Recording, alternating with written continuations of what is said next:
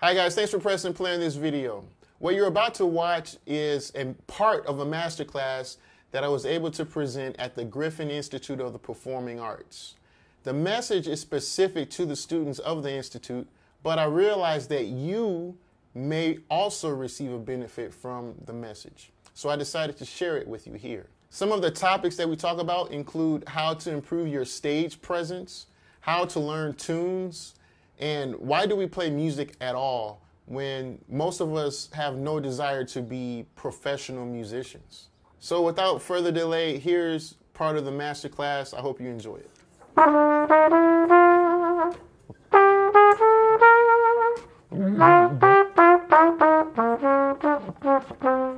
It's a difference. I forgot my point. oh, real real time feedback.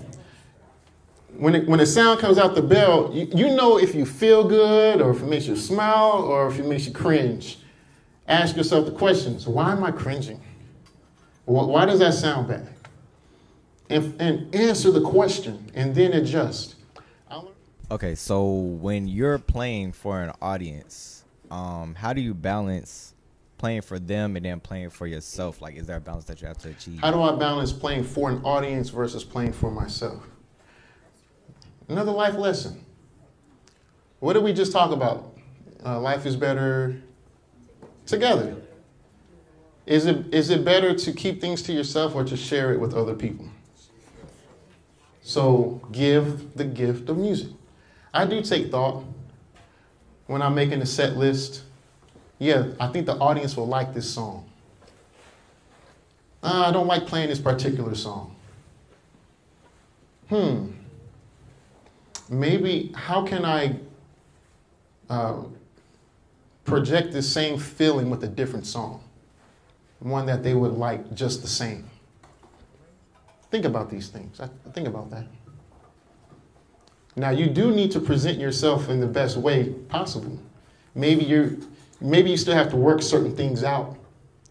So maybe you'll simplify it, maybe you'll play a different song altogether.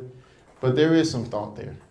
Mm-hmm. Uh, when you were first starting out, how long did it take you to prepare before you were coming up on stage and doing all this stuff? I don't know if there's a definitive answer to that.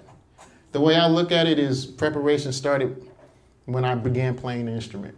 For me, I don't know how many others adopt, um, share this philosophy, but I practice, my, my practice is primarily like fundamentals, slurs, tonguing, uh, long tones, boring stuff. Nobody likes doing that. However, um, when I get phone calls to do cool things, it's, it's less time I have to prepare. Like there's this one particular song I played recently, like the tonguing was really difficult. But I practiced tonguing difficult things. Does that make sense? Yeah. So um, I'll try to give you a little bit more solid answer.